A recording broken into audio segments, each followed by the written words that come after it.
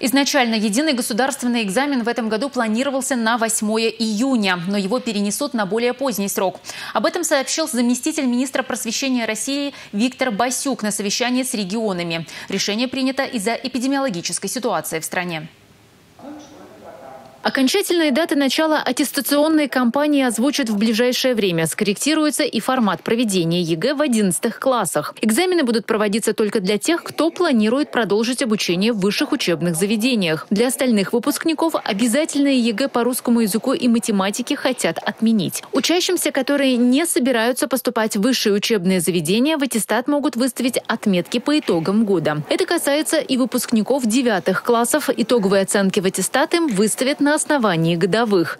Старшеклассники завершат учебный год в конце мая, а уже со следующей недели на летние каникулы уйдут ученики первых-восьмых классов.